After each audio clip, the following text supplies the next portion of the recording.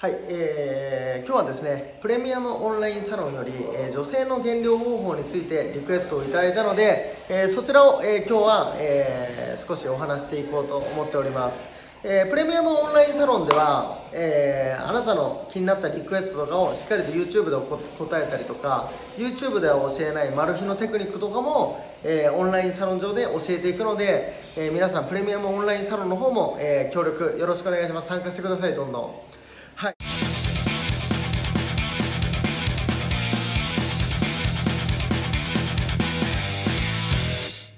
というわけでですね、え女性の減量なんで、え女性はね、え減量が難しいか、まあ、リクエストとしては試合に出たいんですけど女性の減量を教えてくださいっていうような内容でした。えー、やっぱりね、ライジンの、えー、レーナ選手にしても、ノックアウトの、えー、小林選手とかにしても、やっぱね、最近ね、女性の軽量失敗がちょんちょんってあったような気がするんですけども、やっぱりね、軽量オーバーする人の特徴としては、間違いなく、あの1キロ、2キロオーバーしちゃってますよね。はい。で、えーまあ、女性に関しては多分ね女性ホルモンの関係でむくみやすいとか痩せにくい時期とかって多分あると思うんですよただねやっぱね、えー、そこを言い訳にしちゃったらねプロとしてはちょっといけないと思いますしただ、えー、やっぱそこを無視するわけにもいかないですしえー、軽量ね失敗してる女性の特徴としてはね意外とまだね体に丸みが残ってるんですよね、はい、まだ絞れるっていうのは正直あるかなと思います。体脂肪率で言ったら。えー、ただかなりね諸刃の剣のところが正直僕はあると思ってましてそれ以上削っていくと女性ホルモンが多分出なくなって生理が止まってしまうっていうことも全然あると思います。ただね僕はね一緒に昔、えー、プロの女性の選手ね一緒に練習してたプロ選手はやっぱ試合前になると生理が止まっちゃうなんて、えー、おっしゃってましたね、まあ、その子もねまあ結構体は丸かったとは思うんですけども、えー、練習結構猛烈にしてて多分ストレスとハードのハードワークによって、うん、生理が止まってたのかなと思うんですけど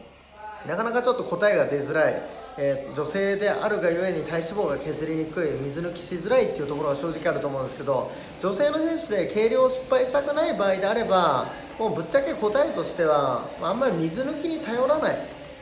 えー、しっかりと体脂肪率をある程度削って、えー、適正の体重でそのリカバリーを狙った減量とかっていうのをしなくて戦っていくっていうのが大事なんじゃないかなと思っています。正直言ってだって今ワンチャンピオンシップとかにしてもそうなんですけども海外の大会ですよね。総合格闘技キックボクシングで今一番熱いんじゃないですかね。そこの団体なんかもそうですけど水抜き禁止禁止ですからね。あの何日か前にちゃんと体重測定して試合の日とかもなんか水分量チェックするんじゃなかったんでしたっけ？確か、えー、ワンに出てる選手のブログとか見るとやっぱそんなことやっぱ書いてありましたね。水抜きしないで減量する。やっぱね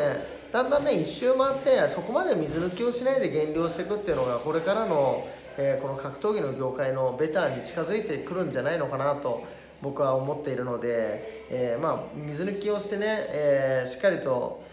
絞ってた僕が言うのもちょっとあれなんですけどもこれからの時代はだんだん水抜きをあまりしなくても、えー、試合にできるような、えー、普段からの体型維持とか、えーまあ、普段から太りすぎない、えー、しっかりと大体ね1ヶ月でね、えー、体脂肪だけきれいに落とせるなんて2 3キロしか落ちないと思うんですよ正直言って。だから普段から太りすぎちゃったら、えー、もうその時点で筋肉を落とす。えー、水分量を減らすしか僕はないと思うので、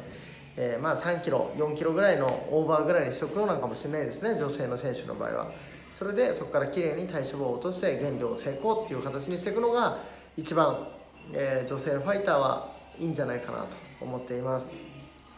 えちょっとね今日は、えそんな感じで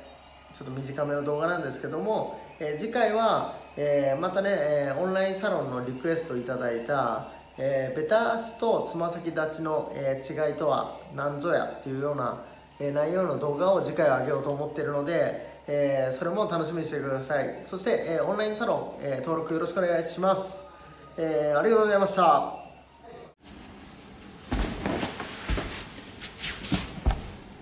世界で一番近いジム鍛えたいオンラインサロン。始まるよ。格闘技情報だったら鍛えたい。皆さんチャンネル登録 Ay, ay, ay.